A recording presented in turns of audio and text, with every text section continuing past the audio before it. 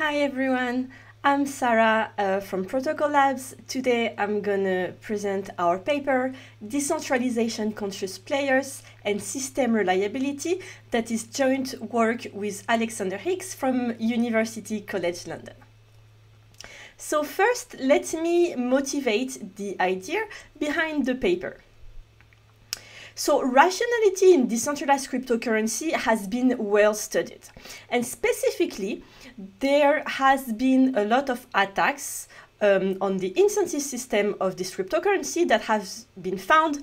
Um, one very well known is selfish mining. It has been studied and then refined, and um, uh, basically, it's, it's really well known, really well studied. Um, but yet, there there is no really evidence that um, this attack or let's say strategy is being used in practice.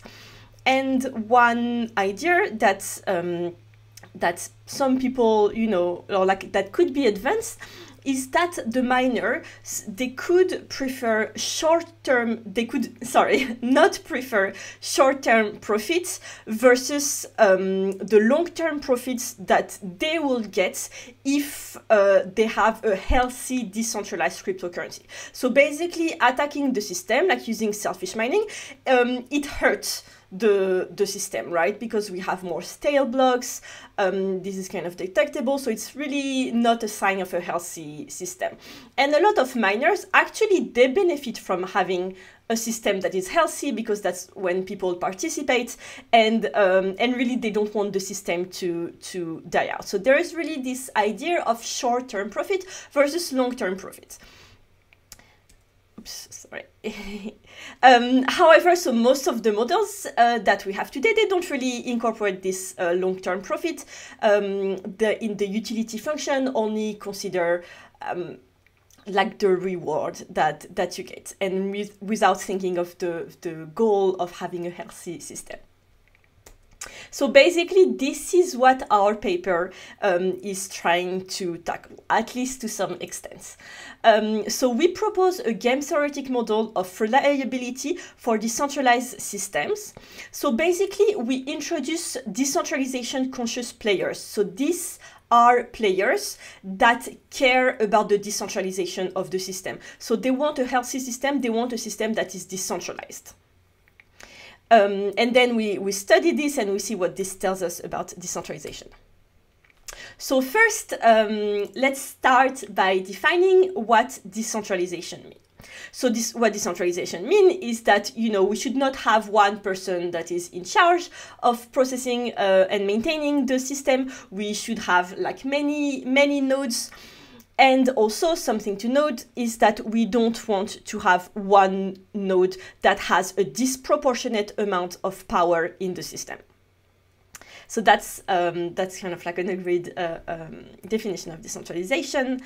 Um, and so now what we're going to do is like we're going to study decentralization as a social goal. And so we're going to assume decentralization conscious players who care about decentralization. So they want to have a system where there are many participants and where no participants has more power than the other, or at least not in a completely dis disproportionate way. So in order to do that, we're going to use system reliability. So system reliability, roughly, it captures the likelihood of a system um, performing as intending. So basically, it said that this system is likely to, to work well. Um, and in public good, this going to depend on the effort that players put into the system. So this was first introduced by um, Varian uh, when he studied system reliability and free riding. And free riding. So in his paper, Varian considered three different cases. One of them is uh, the weakest link. So in the weakest link case, the reliability of the system will depend on the player that puts that puts in the least amount of effort. The best shot case, um, in this case, the reliability will depend on the player that puts the most effort. And finally, the total effort case, that will be um, a system where the reliability depends on the sum of the efforts uh, that, that, that are put in by all the players.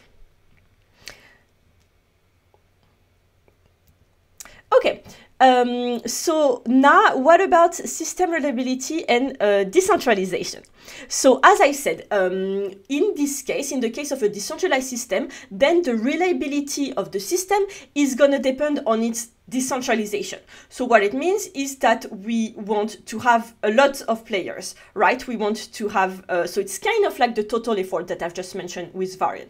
So basically having um, more people will be good, will increase the uh, reliability of the system. But however, um, so that's good. But what we don't want, on the other hand, is having one participant that uh, contributes like disproportion disproportionality in this whatever. Um, so yeah, so we want to so so that's the goal that we have in mind. We want a lot of players, but we want them to have like similar contributions. Um, and that's why uh, we introduced the normalized total effort.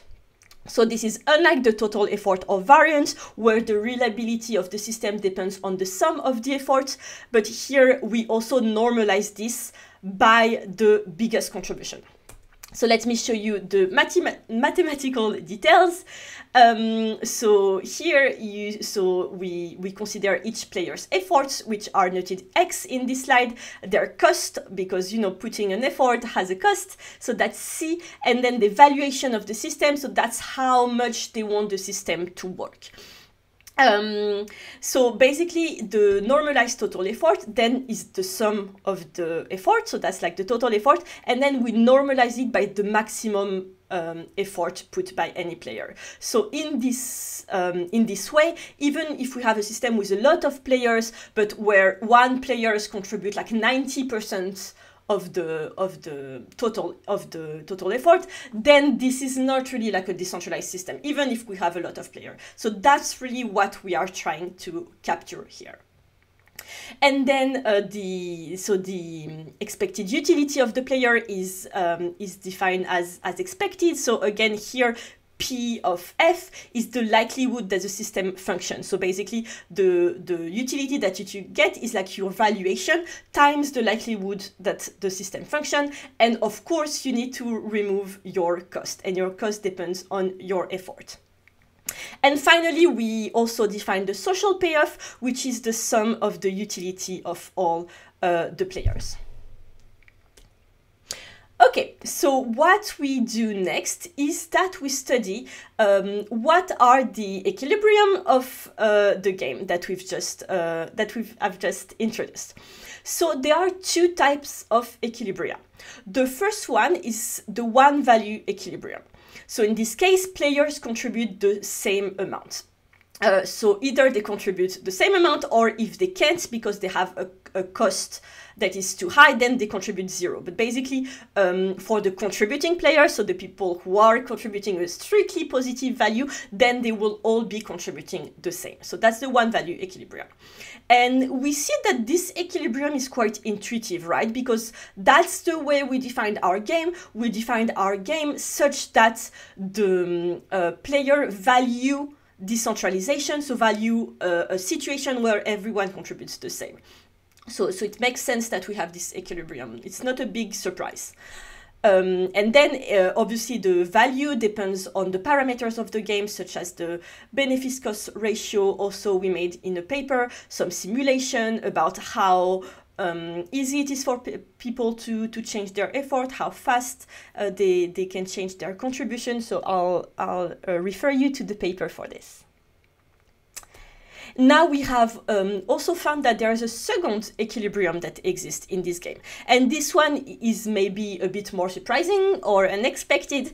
And this is an equilibrium where um, two value are played by contributing players at the, at the equilibrium. So we will have the bulk of the player that will be uh, playing the same value, but then we will have some uh, players that can also play like a second value.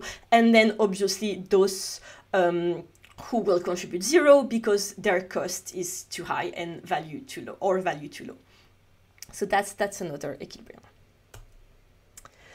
Um, so here in the previous analysis, we have only considered um, the valuation of the system, right? So that's how much um, people, you know, appreciate the fact that there is a system working. However, uh, what happened in the previous um, equilibrium that I've mentioned is like um, is that we have like a trivial uh, zero equilibrium where basically contributing zero is an equilibrium because, well, obviously it's decentralized. No, I mean, everyone contributes the same, right? Zero. Um, and so what many systems have these days is that they add an explicit financial reward. So, um, usually this will be a reward that is proportional to your effort. So again, thinking about uh, cryptocurrencies, we have the mining reward, right? For every block that you mine, you get some coins. And here, I just want to emphasize quickly that like this explicit reward is different um, than to the valuation that I've mentioned before. So if you think about it, the valuation is like how much I value the system, like how much I benefit from having, so for example, if you think about cryptocurrency, of having a decentralized financial system, right? Um, so that's that's different from the financial explicit reward that is um, the, the bitcoins or whatever coins mined or minted in each block. Uh, so what we find where we when we add this um, this explicit reward is that the equilibrium are quite um, similar, except that we don't have this um, zero uh, equilibria because if you earn a reward then you're always going to have like an incentive to to contribute even if no one else is contributing which isn't the case in a in the purely decentralized uh, game where you know if no one else is contributing then you don't want to be the first one to contribute because then it's not going to be decentralized. You're going to be the, the the only one right? Okay um, next we also study the social optimum so, um, eh, uh, so obviously, because we consider decentralized system as public goods, then the social uh, payoff is important. And um, especially in the case of the Varian's paper that I have mentioned previously, the equilibria and the social optima were not the same which is problematic, right? Because um, ideally you want the social optima to be the equilibria. And just to remind ourselves, the social optima is what is gonna optimize, maximize the, the social payoff, which is the which is the sum of the utility of each player. So really what is gonna increase, uh, uh, optimize what everyone gets out of out of the system.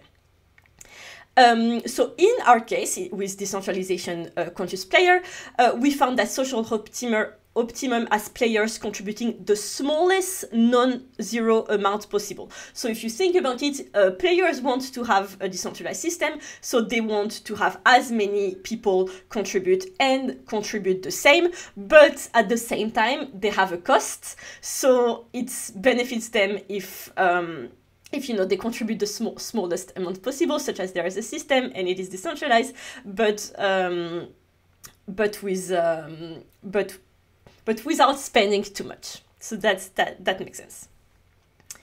And uh, the good news is that actually this can this is a Nash equilibrium in our case. So that's that's actually a nice nice result. Um, so then in the paper, we also study the robustness to other type of uh, other types of players we, because we know that in reality, we don't only have rational player. Uh, so what we consider in the paper is um, what happens if a players deviate from their equilibrium for no apparent reason. They are you know they are not rational. Um, so what happens if they increase or decrease their contribution? And we find that in in in some cases disturb the equilibrium but not always.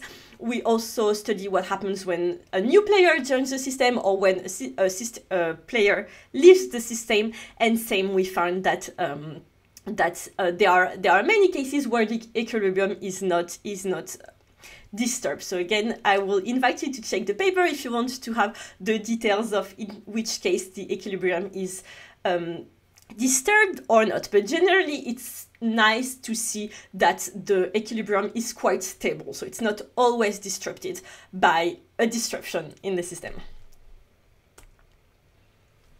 Um, okay, so here are a few here are a few results. So um, basically, a new player joining the system uh, disrupts the equilibrium only if their benefits cost ratio is high enough relate, relative to the existing players and the current equilibrium value. Um, so then in this case, this can lead to a new equilibrium with a different equilibrium value. So one, one highlight here. Um, however, a higher value might force players to free ride.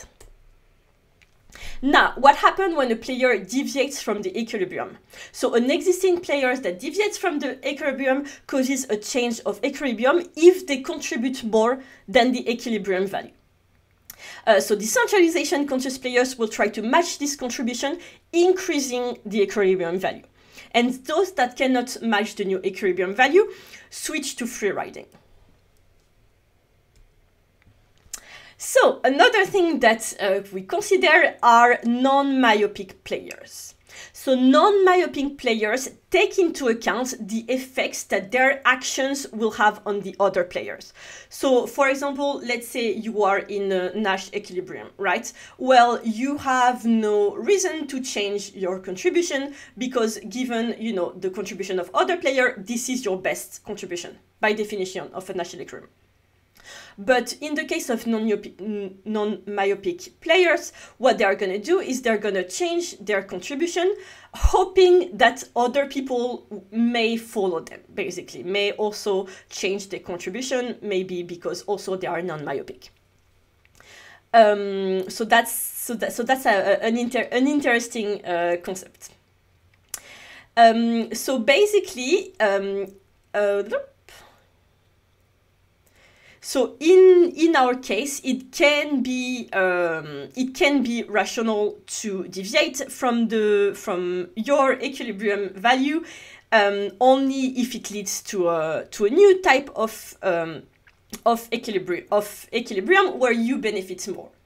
And uh, the thing is like when you add a reward to uh, to our system, then this can happen because uh, rewards are proportional to your effort. So if you, for example, increase your value, the effort that you contribute, you're going to be forcing other players to leave the system because then it will not be beneficial for them to contribute anymore and then you'll be able to get a bigger reward. So in this case, we have kind of like this like not perverse but but slightly perverse effect where actually uh, with an added explicit reward you could you could have case uh, where where a player is incentivized to deviate uh, a non-myopic player is incentivized to deviate from the equilibrium. Okay so uh, what what about decentralization conscious players in practice so in practice, they can maintain um, decentralization, but they cannot increase it, right? If you want to, because if you want to, um, you cannot force any any people to to to join the protocol and also you you know they may want to increase the contribution to increase the total effort put in the in the system but again in the decentralized system well when you want to have everyone contribute the same then that's that's that's not really like um, that doesn't really make sense in this case. Um, so in the paper, we also discuss some uh, practical limitation, so that's the scarcity of resources required to, to, to contribute, the information about uh, other players. So we know that in practice, it's not uh, always possible to contribute as much as you want. For example, if you think about the specific case of proof of stake system, well, there is only a limited amount of coins, and if there is someone that possesses, you know, some amount of, of coin, they may not sell it to other. So actually, you may not be able to contribute as much as you want in a proof of stake system. And in the proof of work system, this is less true, but this is true to the extent where um, ASIC's hardware is uh, limited, right? There have been in the past some issues with um, with the, the, the, with the supply chain.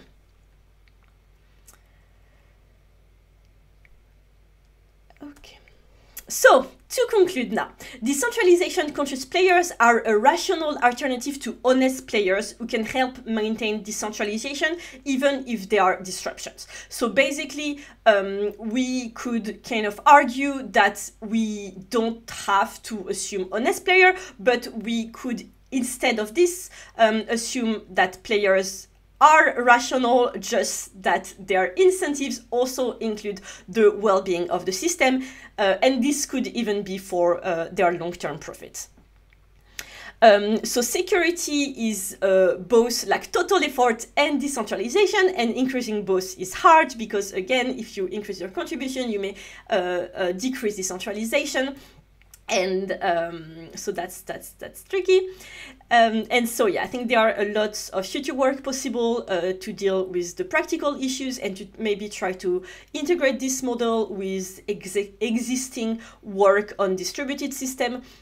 So so there's a um, yes a lot of um, future work possible. If you are interested you have our um, details contact details here. Feel free to email us and and we'll be we'll be happy to discuss it Thank you.